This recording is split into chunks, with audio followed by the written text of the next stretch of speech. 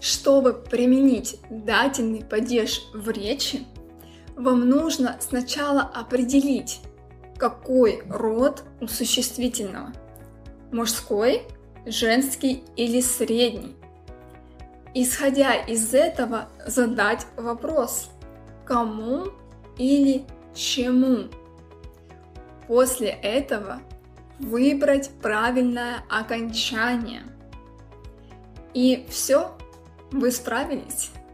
Я приведу вам пример, а вы попробуйте определить адресата и поставить правильное окончание. Я рад весна. Попробуйте сами поменять слово в дательном падеже. Определяем род. Весна. А. Очень похоже на женский род. Весна. Весна – это одушевленное существительное? Оно живое? Нет. Это не одушевленное существительное. Значит, я рад чему? Мы задаем вопрос чему? Чему я рад? Дальше на женский род. Весна. Значит, мы меняем А на Е. Я очень рад весне.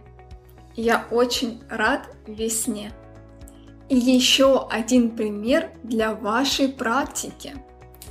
Мама разрешает дочка есть шоколад. Дочка стоит в начальной форме. Вам нужно поменять слово в дательном падеже. Для начала мы определяем род. Дочка – это женский род. Как минимум мы видим в конце букву А дочка, что уже нам в большинстве случаев говорит о женском роде. Вопрос. Дочка – это одушевленное существительное? Она живая? Да, она живая. Это дочка. Да, это одушевленное существительное. Она живая. В женском роде дательного падежа мы меняем А на Е.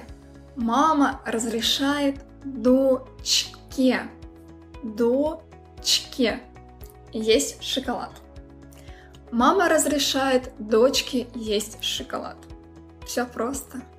Не забывайте подписываться на канал, ставить ваш лайк и писать любые ваши комментарии.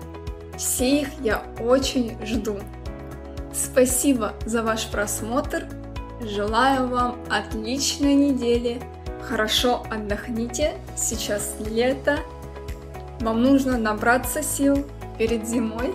Поэтому, пожалуйста, отдыхайте. Желаю вам всего самого наилучшего. Спасибо и до свидания.